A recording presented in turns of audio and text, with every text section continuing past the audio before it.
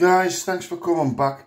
Um, I put a video on YouTube um, regarding the test fit of the carbon fibre rooftop spoiler. Um, this product, product here, um, this is what came with that roof spoiler. Um, I didn't get the chance to put it in because I was uh, unwittingly cut off. But uh, that roof spoiler is, they, they normally come with this double-sided sticky tape. Um, this is a very cheap and nasty version. Um, it's unbranded and if I've got to be honest with you, it's absolutely useless. It's not adequate enough for sticking down uh, a carbon fibre roof spoiler that's of some value. Uh, the, the reason being is if anybody wants to rip that spoiler off the back of your car on a nice hot warm day when the adhesive has loosened up on this, that boot spoiler will come straight off. Um, so basically that's getting through away and it's not getting used.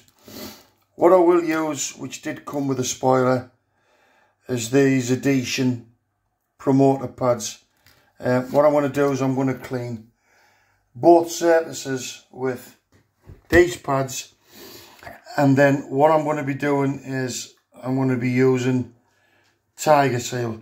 Now there is an alternative to this which is an even better tape than this which is the branded 3M tape.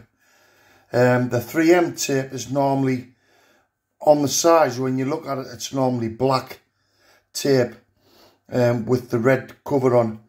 Um, and the black 3M tape is a lot stickier and it has more adhesion power than what this tape does. Um, the 3M is a lot better product, but I would still not use it. Um, what I would use is this stuff here. I would use the U-POL Tiger Seal. It's a sealant and adhesive and quite a lot of manufacturers use this stuff.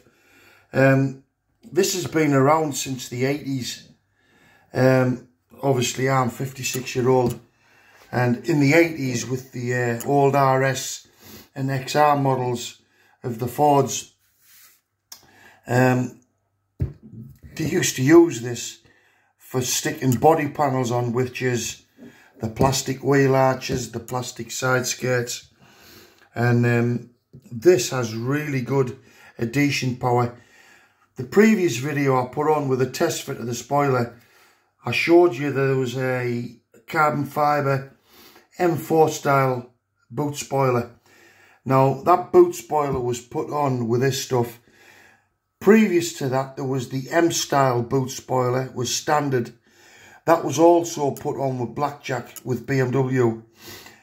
The problem is, is when you go to remove something that's stuck with this, it leaves quite a bit of damage behind.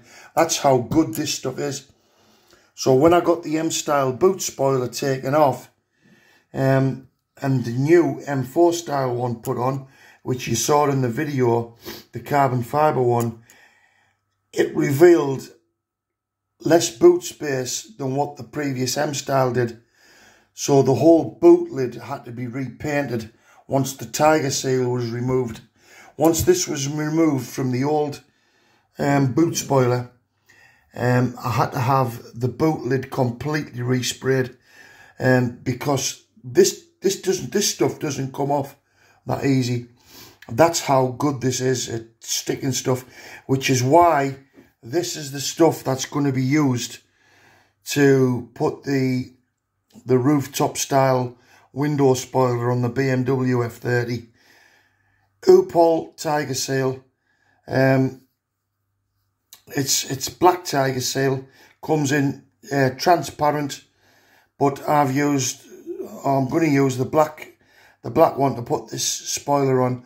So guys, forget about using double-sided sticky tape. Sorry, got my words mixed up there. Whether it's 3M style sticky tape or whether it's a cheaper style tape like this, please, please avoid using this Because if you've got any type of boot spoiler or roof spoiler stuck on with this, guarantee you, if thieves want it, they'll have it. They'll get it straight away.